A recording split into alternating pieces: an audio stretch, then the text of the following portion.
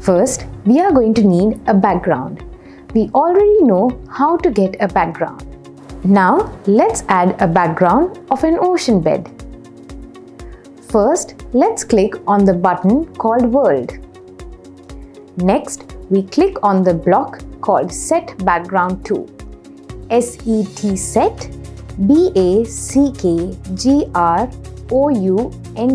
background TO2 and drag it to the when run position. Now click on this little arrow and find the picture which shows an ocean bed. Now click on that picture and select it. Very good. Now we have picked an image of an ocean bed as our background.